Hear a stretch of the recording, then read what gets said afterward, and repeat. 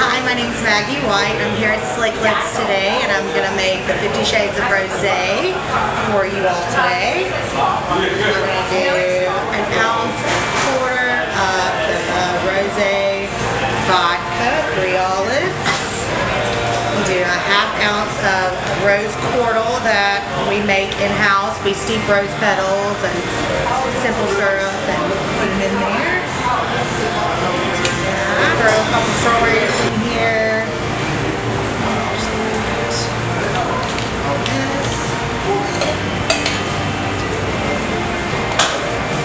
Quarter ounce of citrus.